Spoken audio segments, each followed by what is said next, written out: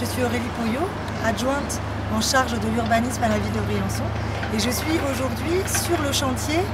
de la passerelle du Prorel. Donc je me trouve ici même à Central Park et demain, à travers la passerelle que vous voyez derrière nous en construction, nous pourrons rejoindre Central Park au pied de station du Prorel. Euh, c'est un projet qui a commencé euh, il y a six mois, qui a pris euh, un peu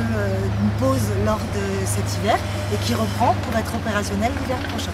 Donc vous aurez ici une passerelle en bois qui permettra d'aller sur un ascenseur vitré et de l'ascenseur vous aurez encore la possibilité de descendre et d'aller sur le pied de station